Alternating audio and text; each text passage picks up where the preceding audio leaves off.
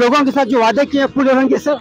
Hundred percent करेंगे। भाई साहब ने आने से पहले जो वादे किए थे कि आपको यकीन है कि पूरा कर पाएँगे और बच्चों का मामले को लेकर जो है बच्चों को लाने के लिए क्या कोशिश करेंगे क्या जद्दोजहद रहेगी उनकी?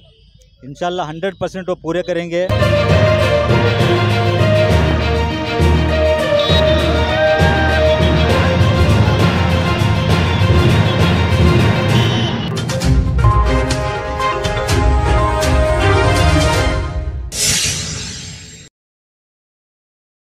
मुबारक हाँ, मुबारक को।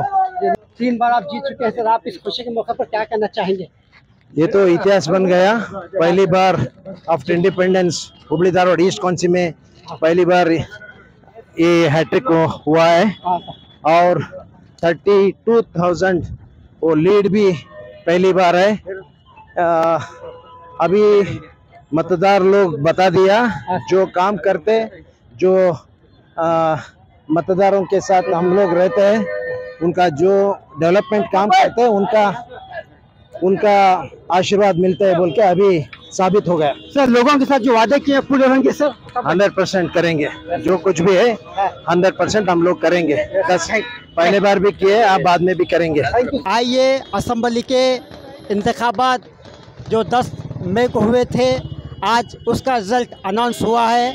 आज जो है प्रसाद अब्बैया साथ बहुत ही बहुमत के साथ विन हो चुके हैं, जीत चुके हैं।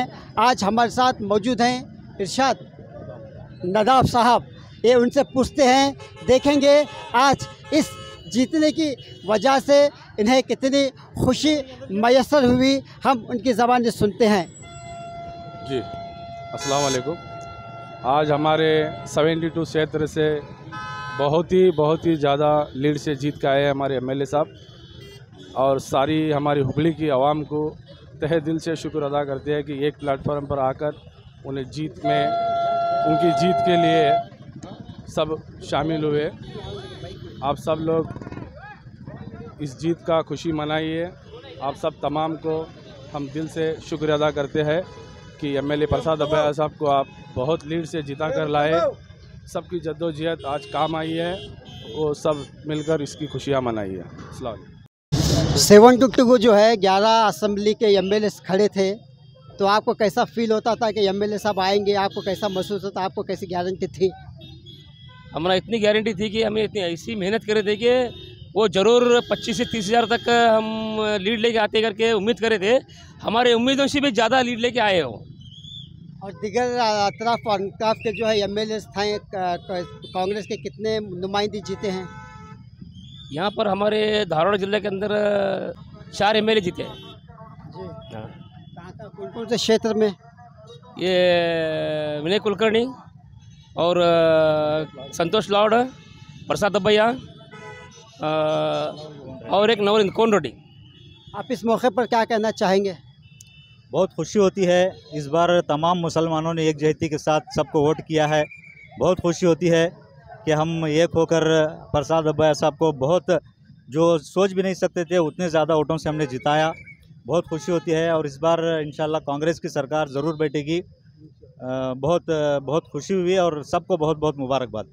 प्रसाद अब्बाया साहब ने आने से पहले जो वादे किए थे कि आपको यकीन है कि पूरा कर पाएँगे और बच्चों का मामले को लेकर जो है बच्चों को लाने के लिए क्या कोशिश करेंगे क्या जद्दोजहद रहेगी उनकी? इंशाल्लाह हंड्रेड परसेंट वो पूरे करेंगे।